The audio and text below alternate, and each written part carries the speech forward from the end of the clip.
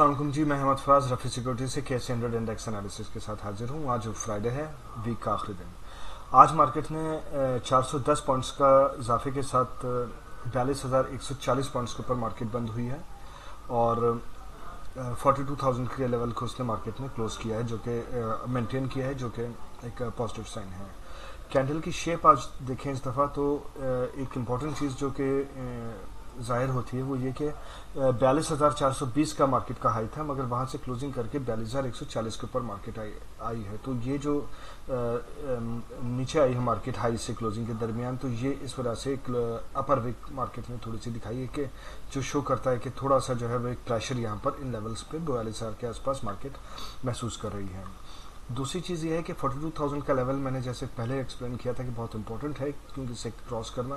तो एक या दो दिन अगर यहाँ से थोड़ा सा बेहतर हो जाए मार्केट और इससे ऊपर की क्लोजिंग आ जाए 42,400, 42,600 तो एक थोड़ी सी श्योरिटी हो जाएगी कि जी मेंटेनेंस जो प्रिजर्व प्रिजर्वेशन है 42,000 लेवल की वो अच्छी हो गई है।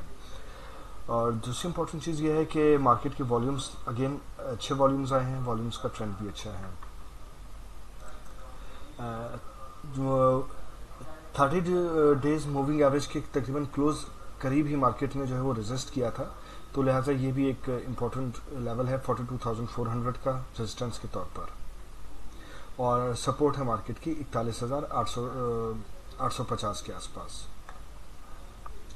और एक्सपेक्टेड ट्रेंड मार्केट का मंडे ट्यूसडे के लिहाज से पॉजिटिव ही है। एक एक आध दिन जो है वो कंसोलिडेशन का हो सकता है कि आ जाए इस ट्रेंड के दौरान, लेकिन अभी तक ट्रेंड की पोजीशन जो है वो खासतौर से ये थ्री जो कैंडल्स की फॉर्मेशन के बाद जो है वो एक्सपेक्टेड ट्रेंड पॉजिटिविटी का ही है। बयालीस हज़ार का लेवल बहुत इंपॉर्टेंट है कि वो इसे अच्छी तरह से ज़रा प्रिजर्व करें। पहला जो आइटम है मैंने जो आज सेलेक्ट किया है वो है एंग्रो पॉलीमर कैंडल की शेप भी काफ़ी अच्छी पॉजिटिव कैंडल है और ये लो लेवल के करीब था। तकरीबन दो महीने का, डेढ़ महीने का लो के ऊपर है सपोर्ट है इक्यासी रुपये बाईस पैसे और टारगेट है 87.5 पर। नेक्स्ट है फौजी फ़ूड एफएफएल इसमें भी वॉल्यूम अच्छा आया है। छः रुपये सतहत्तर पैसे की सपोर्ट है और टारगेट है सात रुपये बाईस पैसे का। नेक्स्ट है निशाद चुनिया। इसने एक बहुत अच्छी पॉजिटिव कैंडल शो की है विद हाई वॉल्यूम्स सपोर्ट है पैंतालीस रुपये बहत्तर पैसे और 48 का टारगेट है और उसके बाद का नेक्स्ट जो है वो 50 का तक का इसका टारगेट हो सकता है। और ये मीडियम टर्म के लिहाज से भी अगर देखें तो बहुत इसकी अच्छी फॉर्मेशन बन रही है, एक अच्छी पोजिशन बन रही है।